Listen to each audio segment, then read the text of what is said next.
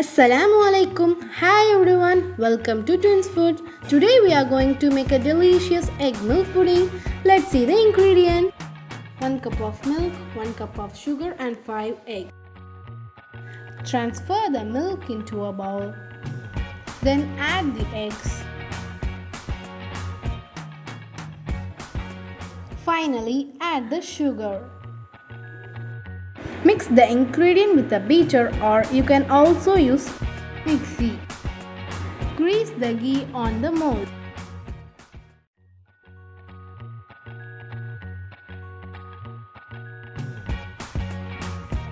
Now transfer the egg mixture into the mold.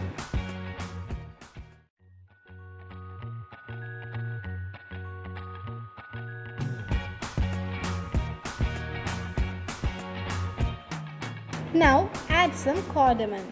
Steam it for 10 to 15 minutes.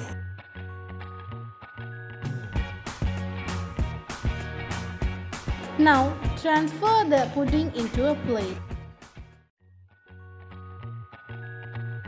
Our delicious egg milk pudding is ready to serve. Hope you all enjoy this video. Like, share and subscribe our channel.